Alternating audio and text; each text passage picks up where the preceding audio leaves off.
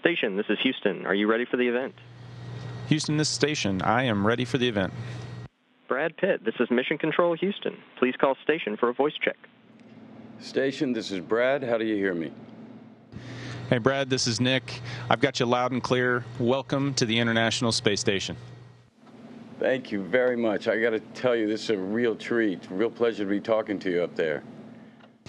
Hey, likewise, uh, a treat for uh, for us. Actually, uh, we got a, a, chance to sneak preview the the movie a few weeks back, and just want to start off by saying thank you for what you're doing to contribute to the mission of awareness and to set that you know light that fire in the imaginations of the next generation of explorers. Thank you, Nick. Thank you very much. And now that I have you all the way up at the space station, let's talk about me. How do, how do we do? How was our zero G? I got to tell you, it was uh, it was really good. The uh, and the depictions, the the the, the settings, uh, all as you can tell, look very similar to the the type of setting you've got. You know, I've got around me. Uh, I got to imagine it was a, a lot easier for uh, for me to to kind of uh, enjoy the the zero G than it was you, whether it was CGI or hooked to strings. I'll tell you what, our ship was a, a bit cleaner. Can you do, do you know what everything is on the walls there behind you? You know, when I first got up here, uh, it looked uh, it looked similar but very different, if you can imagine that, uh, to what we train on in the ground. We had lots of photos on the ground, but up here everything hangs off the walls and there's cables everywhere. Uh, but yeah, you know, you get very familiar with it and you know exactly what's going on. Uh, a lot of it is is storage of, of equipment, and then we've got different facilities. Uh, for instance, this one right here, this wall helps us research how flames burn in space, which is very different than on the ground. And by removing the effect of gravity forcing a certain shape to a flame, we can study exactly what goes on to a, uh, inside a flame to a greater detail. Helps us figure out how to make cleaner burning engines, you know, and and and get more out of the the energy that we do consume.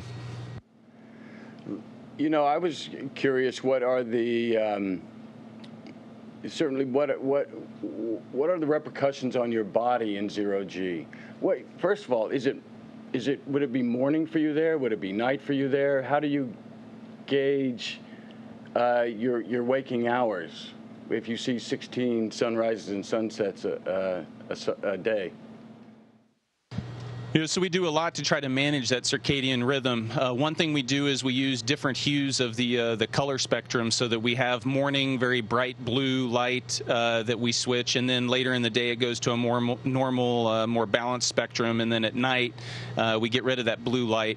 Um, and we all follow the the Greenwich Mean Time, and that's to help synchronize, you know, the international aspect of this. We've got a control station in Houston, in Huntsville, Alabama. Then we've got uh, control centers in in Japan and in Germany and in Russia and uh, up in Montreal, and all of them need to operate on the same time. So we picked Greenwich Mean Time. Uh, but you know, really, if you if you're if you're not smart and you're new to the station, you you run to the windows and you want to check things out right after you get done with your workday. You get a face full of sun. It gets very difficult to go to sleep for a couple hours with all that blue light. Wow, I would think so. So is anyone, is there a, a night shift or is everyone on that, on, on uh, those hours? Yeah, so we try to stay. The crew stays uh, on the same workday hours, and so we work a 12-hour workday. Uh, starts at about 7:30 in the morning and finishes at uh, about 7:30 in the evening. Uh, but there is a night shift. There's actually a massive team on the ground that is that is controlling about 95% of what happens on the space station, uh, 24 hours a day, seven days a week, 365 days a year. It is uh, it is a an amazing orchestration of an international program that comes together to truly achieve something that, that we can't do uh, alone. And it's through that strength and diversity, or strength through diversity, that we're able to have, you know, successfully operated this station for two decades. It's incredible. I, I, got to go to JPL last week, and it was on the day when India was landing um, on the moon, and and the United States were assisting them in that uh, effort. Could you see that from where you are? No, unfortunately. So I, you know, I along with the rest of the crew just had to follow along with the with the news reports, and uh, you know, it's one of those things where international cooperation is so important because uh, saying we've got up here is space is hard. Uh, things that uh, that should be easy when you try to do them in space, they just get harder, and uh, and the things that we're trying to do every day uh, you know the the team on the ground, NASA and its international partners do a great job of making really hard almost impossible things look routine, and uh, it's it's one of those things where you can get some complacency, but it, the the things that we're able to achieve together is it's uh, it's uh, it's something special. For me, that is the biggest thing that I've I've I've pulled from this mission is that idea of cooperation at a global scale is what's going to propel humanity into the future. I got to see a little of that. They were working on a, the new rover that's going to go to Mars, and it was an international effort, um, uh, which was really impressive to see everyone working together to build different components to this rover. What is your what are your um, current uh, missions at this point? Yeah, so I'm actually on the tail end of my time up here. Uh, I've uh, got a 200 day mission on board the space station, and I'm uh, north of 180 days now, only a few weeks left before I return early in October. And on a, on a routine week, it's, it's a lot of different science experiments. We do maintenance to maintain the station. Uh, I was uh, fortunate enough a few weeks back to be able to do uh, my third spacewalk, and uh, and those are all just amazing experiments or, or experiences. And you know, every day is is full of something something new and exciting. Uh, if you look at the spectrum of experiments that, that you get to do over the course of the mission, you know, I've got to be involved with uh, the looking at different ways to, to to develop new types of rubber that will change the way potentially we make tires and make cars more fuel efficient or or how we extrude fiber optics to help improve communications technology on the ground and make it more cost effective to all the way to the other end of the spectrum where we've done gene editing and and you know we're looking at at things that are going to help us push for cures for Alzheimer and cancer. And so it just spans this whole spectrum. And you know growing up on a farm I never would have thought that I'd be able to be involved with things like that. It, it really is extraordinary. By the way you're from Kansas I'm from Missouri so we're neighbors It's a good part of the country. I've taken lots of photos of it over the uh, the past six months. Uh, I bet. Um, congratulations on 200 days. Uh, what is that um, like on the psyche? What is that? I, am sure you're always busy, but at the same time missing family and loved ones at homes. How how do you keep your mental state at peace?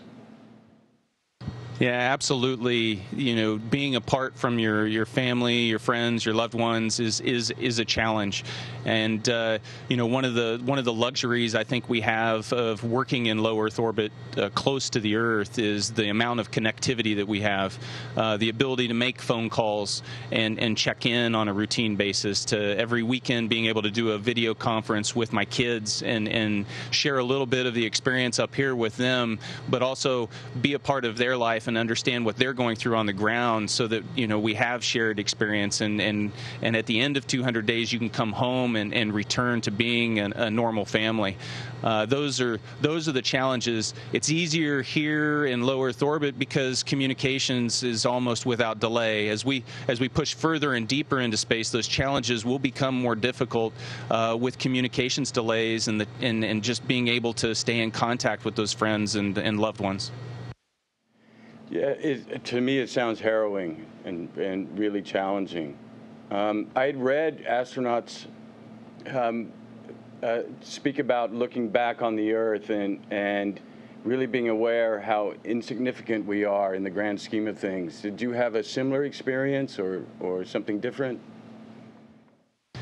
You know, that's one of the special things about being up here is being able to float over to the window and see the earth below. To to look down 250 miles and and you know, with your naked eye, you can see the crop circles in Kansas, in Missouri, and and you can see you, you, can see humanity below you, and you can see it glide by as, as we go screaming through the sky, you know, at, at five miles a second, and and and just take in. You get a, a perspective that that you know you're away from the Earth, and and in the same view you can see the moon rising over the horizon and you get this idea that you know I'm not on the earth and I'm, I'm, and I'm not you know at the moon but I'm just kind of in the cosmos and then that perspective really challenges you because now you're looking down at everything that you've ever known, all of humanity right there, and you have this deep appreciation for how big the universe really is.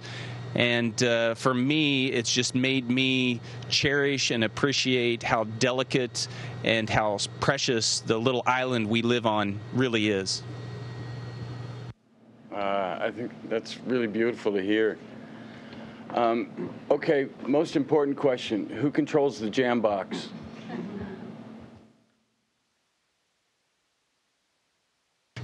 So we have a we have a rotating playlist. We take turns, uh, and uh, you know, and it's it's nice because we have the international flair as well. So we have an Italian astronaut on board uh, along with the U.S. astronauts, and then two cosmonauts. And so uh, getting to hear some uh, some traditional music from uh, from Russia over dinner is you know is a is a nice change exposure and helps us really appreciate that international feel that the crew has. Yes, but every now and then I'm sure someone's going, I wish Nick wouldn't play that country and western anymore.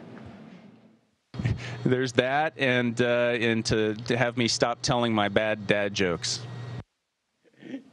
Now, how are you able to stay in, in a single space this way? I see you tapping your feet every now and then. Are you in a foothold? Yeah, I've got a foothold and uh, you know I can change that up. But basically, there's handrails everywhere, and I can just hook my foot underneath there and uh, it's one of the unique. You talked about uh, challenges for uh, for the body being up here. This is one of those unique adaptations. The the calluses on my feet have basically uh, have gone away because I don't walk on the bottoms of my feet. But now I have calluses across the top of my foot around my big toe because I'm constantly hanging on things with my big toe to hold me in place. Uh, it, one of those strange things that you don't really think about on the ground, and then you get up here and it's like, wow, the body is this amazing, constantly evolving thing, and space changes everything. That's incredible to see. And I, I imagine when you're upside down for us, it feels exactly the same as the other way. Uh, you know, one of the things we were playing with in the in the film, which we really didn't get to, was this idea of 3D printing. We were going to um, this idea that everything would be 3D printed on, on location. And I understand you all have already adopted some of that, yes? Yeah, absolutely. We've had several uh, experiments up here. So some of the experiments we're doing here are technology demonstrations to prove out a concept that we hope to apply as we go back to you know go back to the moon and and, and as part of the Artemis program. And so things like tools and, and simple things that that might be easy to print uh, on demand when you need them, so that you don't have to launch every conceivable object with you when you're going on that long trip to the moon or that extremely long trip to Mars, you can just take some some stock with you, some feedstock, and then and then just throw that in the printer and, and then print out what you need. Uh, so we've done those things, uh, and we continue to experiment with those. Uh, one of the more uh, interesting ideas behind 3D printing that we uh, just wrapped up a, an experiment session with was 3D printing organs. And so we had cardiac muscle and veins, and there was a, a ink printer that we loaded in the inks, if you will, into the printer and watched it try to print out samples of tissue it's it's just incredible to think what the future is going to bring. Um, um, I got to ask you. They tell me my time's almost up. This is such a pleasure. I could talk. For, I could uh, ask questions for hours. Um, please tell me what's a spacewalk like. What do you, what do you, what do you feel?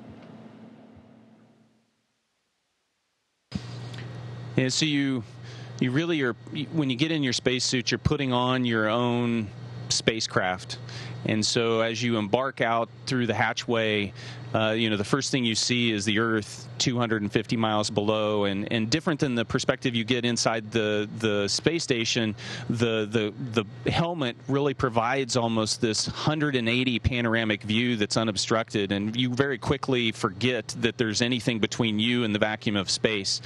Really, the only noise you hear is the, the quiet hum of the ventilation system blowing fresh air behind your head uh, to, to support, that's your life support system. And uh, and then you find yourself going to work, working with the team on the ground and, and being focused on the task. Uh, but there are these special moments. I can remember one from my last uh, EVA where I was out on the very front of the of the space station and I was getting ready to pack up a bag and come back inside, and I looked up and and there was just the earth, the curve of the earth, and, and, and terrain coming underneath me, and I could feel the speed of the station. You know, we're going 17,000 miles per hour through space, and I could, could, feel the speed of that as I'm riding on the front, just looking out over everything in front of us. And it's just, uh, it, uh, the emotions that just wash over you are uh, just it, hard to describe. Amazing. Nick, last question, and I, I need to call on your expertise. Who was more believable, Clooney or Pitt?